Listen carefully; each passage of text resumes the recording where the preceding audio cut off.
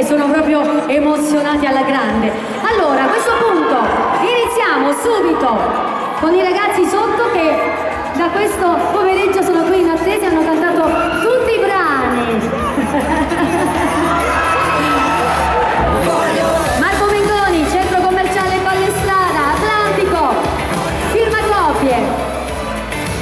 Di questo suo nuovo lavoro.